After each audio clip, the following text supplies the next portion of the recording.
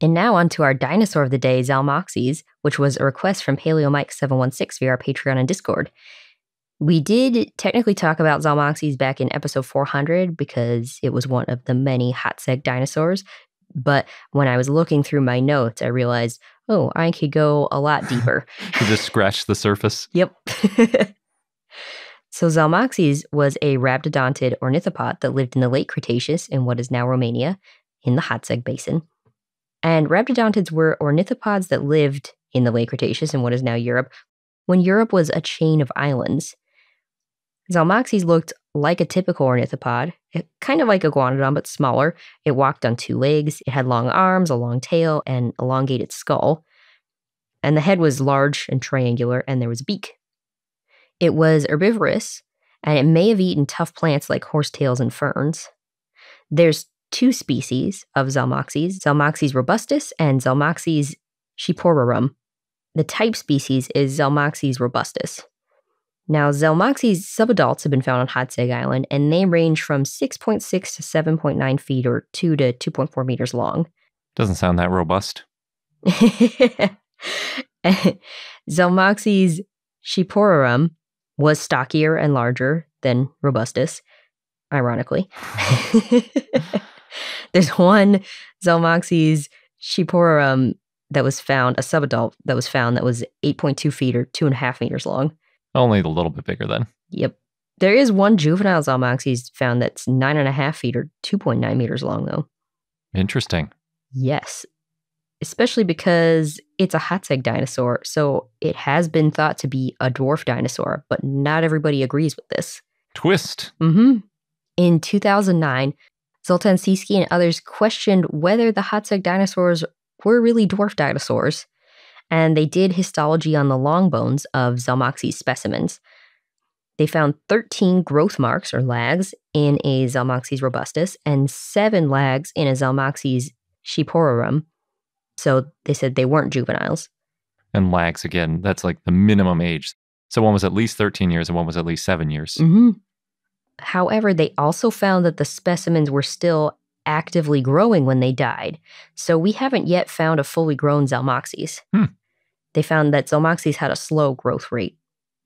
In 2012, Attila Ősi and others described a rhabdodontid, the oldest known one by 15 million years, that lived in the late Cretaceous in what is now Hungary.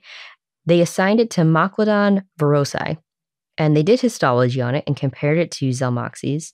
And this specimen of Mochlodon helps show that Zalmoxes was not a dwarf dinosaur they found that the ancestral rhabdodontid had femur lengths of 298 to 339 millimeters, and that's close in size to the femur of Zalmoxes, which ranged from 320 to 333 millimeters. Or about a foot. Mm-hmm. Both Mochlodon and Zalmoxes lived on islands. However, Mochlodon was even smaller. There are Mochlodon specimens that are about 3.9 to 5.9 feet or 1.2 to 1.8 meters long. And they have features that indicate these specimens are adults. Oh, wow. But there are late juvenile Zalmoxes specimens that are six and a half feet or two meters long. And still growing. Mm-hmm. In 2017, Steve Brusatte and others described a number of new Zalmoxes specimens. They've been found in multiple areas or localities of the Hatzeg Basin. And it turns out both species of Zalmoxes lived alongside each other and more specimens have been found over the years, and Zalmoxes is now one of the most common dinosaurs found on Hatzeg Island. So most of the skeleton's been found, and we know about 80% of the skull of Zalmoxes robustus. At least 22 Zalmoxes individuals have been found in just one locality, and it might be up to 25 individuals. Wow. That's quite a bone bed. Yeah. They didn't necessarily live together, though. They were found spread throughout this locality. Okay, so maybe not it could be multiple bone beds. Yes. Zalmoxes shqiperorum was named based on an incomplete adult specimen and some referred fossils. Then later, more fossils were assigned to Shqiperorum. However, Brusatte and others said that it was hard to refer fossils to either species because many fossils that were found were disarticulated and or isolated, so it's hard to tell where exactly they belonged. Also, though the two species have unique features, it's hard to compare them to close relatives because we don't have the same bones of those close relatives to compare them to.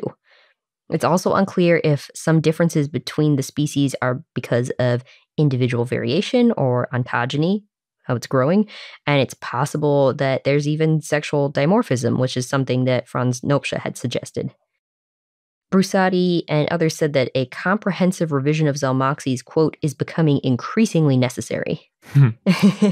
and apparently this study has begun. So for their paper, they accepted that there's two species of Zalmoxes and they referred some specimens to each species.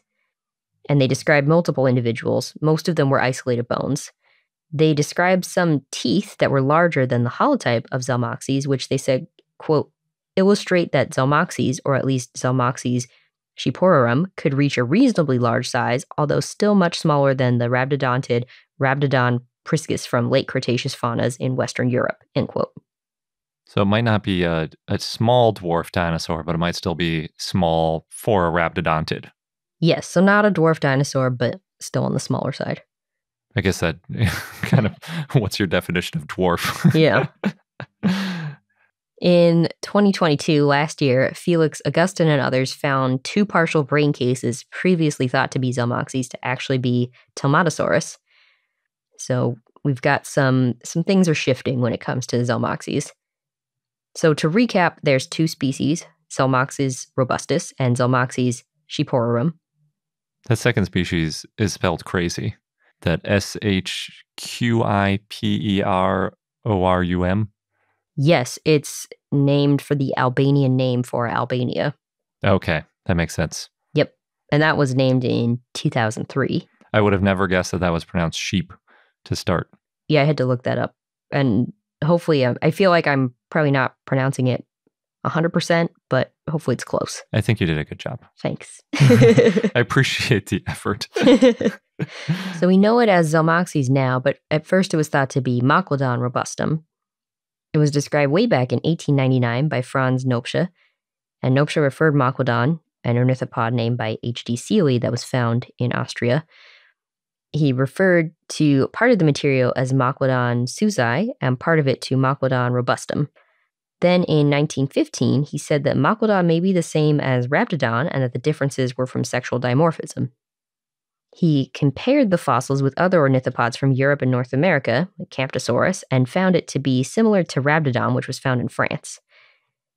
And then in 1990, George Olshevsky corrected the name to Rhabdodon robustus. And then in 2003, Weishampel and others found enough differences to name Zalmoxes robustus. The genus name Zalmoxes refers to the Dacian deity Zalmoxes, who were treated in a crypt for three years to be resurrected on the fourth year, which this was similar to how the fossils were liberated. Hmm.